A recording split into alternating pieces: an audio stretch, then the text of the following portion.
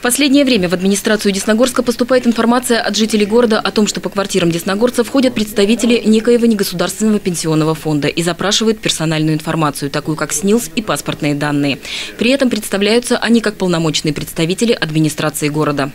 Хочу обратиться к жителям нашего города и сказать, что администрация муниципального образования города Десногорск поручений и полномочий на получение персональных данных от жителей города не выдавала ни одной организации. Комитет по городскому хозяйству и промышленному комплексу ведет работы по благоустройству города и ремонту дорог.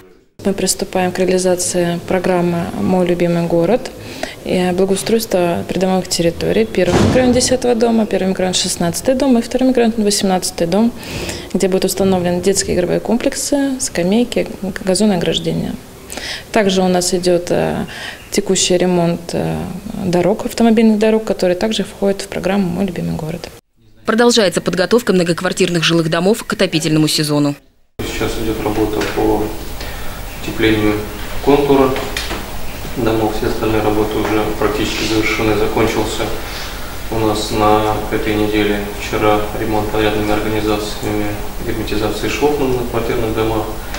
И начаты у нас ремонты трех многоквартирных домах города Десногорска, э, в первом микрорайоне и третьем микрорайоне. В Смоленске в Лопатинском саду 23 сентября пройдут мероприятия, посвященные 80-летию образования Смоленской области. В делегацию Десногорска войдут руководство города, представители крупных предприятий и коллективы художественной самодеятельности. Специалисты Комитета по образованию принимают участие в работе семинара по проекту «Школа Русатома», который проходит в Москве. За прошедшую неделю инфекционные заболевания регистрировались на обычном уровне. Вакцинация от бешенства домашних животных проходит согласно плану.